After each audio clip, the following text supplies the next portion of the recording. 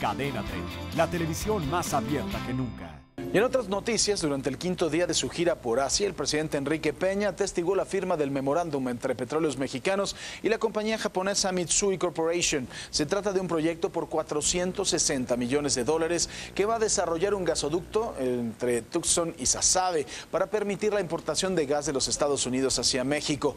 Luego de dictar una conferencia magistral en la Universidad de las Naciones Unidas, Peña Nieto explicó que su gobierno emprenderá una nueva estrategia en materia de seguridad basada en la prevención del delito y no solo en el combate a sus efectos.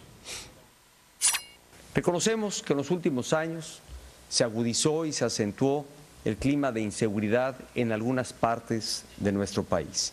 Por eso a este gobierno habrá de ocuparle de manera prioritaria el que recuperemos la tranquilidad en una estrategia que está especialmente orientada a reducir los niveles de violencia Suscríbete a nuestro canal de YouTube para que siempre estés informado de las últimas noticias de México y el mundo. Empieza ahora mismo dándole clic a estos videos.